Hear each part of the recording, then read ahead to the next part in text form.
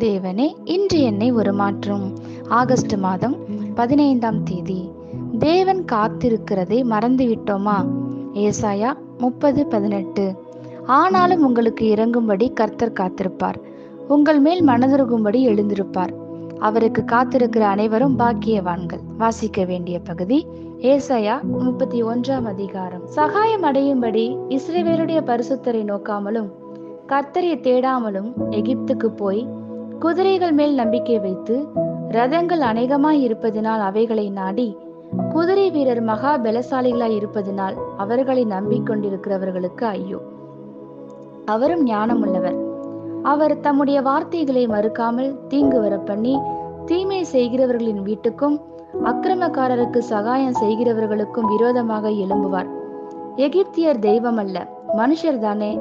அவர்களுடைய குதிரைகள் ஆவி அல்ல மாம்சம்தானே கத்தர் தமது கரத்தை நீட்டுவார். அப்பொழுது சகாயம் செய்கிறவனும் இடறி சகாயம் பெறுகிறவனும் விழுந்து அனைவரும் ஏகமாய் அழிந்து போவார்கள்.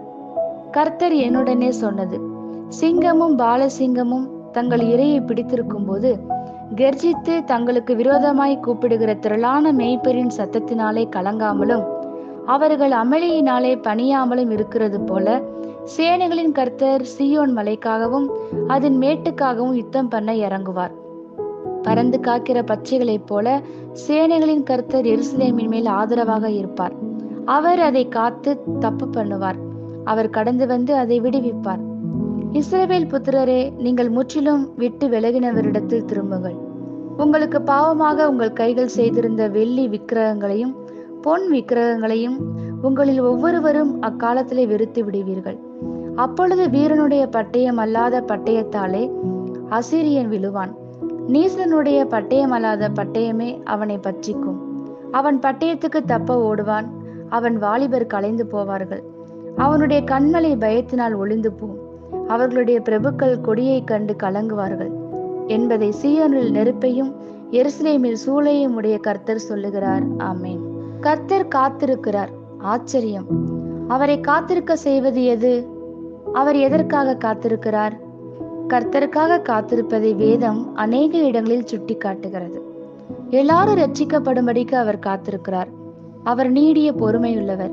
இங்கே நம்மை புரிந்து கொள்ள அவர் காத்திருக்கிறார். அதை போன்ற செயல்களையும் அவர் செய்வார். யோபு ஏழு பதினெட்டு கூறுகிறது காலைதோறும் அவனை விசாரிக்கிறதற்கும் நிமிஷந்தோறும் அவனை சோதிக்கிறதற்கும் நம்மை ஒவ்வொரு நாளும் சந்திக்கிறார். நாம் பேசும்போது நலன் விசாரிக்கிறார். கவலைகளை விசாரிக்கிறார் பாரங்களை நீக்குகிறார். உங்களுக்கு சம்பவிக்க வேண்டிய காரியத்திற்காக நீங்கள் காத்திருக்கும் போது கர்த்தரும் உங்களுடன் காத்திருக்கிறார் என்பதை அறியும் போது நீங்கள் பலப்படுகிறீர்கள். நீங்கள் அவருக்காக காத்திருக்கும் போது அநேக காரியங்கள் சம்பவிக்கிறது. உங்களுக்காக வைத்திருக்கிறதை உங்களிடத்தில் நடப்பிக்க அவர் காத்திருக்கும் போது இன்னும் அநேக காரியங்கள் சம்பவிக்கும். நாம் எப்பொழுதும் நமது காத்திருப்பதையே சிந்தித்து சோர்ந்து போகிறோம். அதனை குறித்து அதிகம் பேசுகிறோம். அவர் நமது சூழ்நிலைகளை மாற்றும்படி அவருக்காக காத்திருக்கும் போது நம்மை மாற்றும்படி அவர் நமக்காக காத்திருக்கிறார். கர்த்தர் காத்திருப்பதை சாதாரணமாக எண்ணிவிடாதீர்கள். நோய்வாய்ப்பட்ட லாசரவி நிமித்தம் கர்த்தர் காத்திருந்த போது அது மேலான மகிமைக்காகவே மரித்தோரிலிருந்து உயிரோடு எழுப்புதலுக்காக நேர்ந்தது.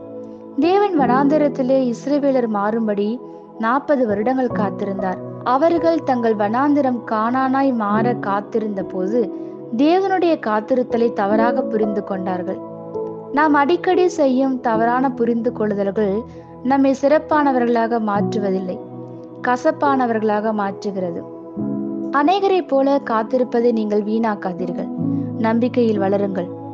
அவருடைய தன்மையை அறிந்து கொள்ளுங்கள். ஆமே இந்த வார்த்தைகளினால் நீங்கள் ஆசிர்வதிக்கப்பட்டீர்கள் என்று நாங்கள் நம்புகிறோம்.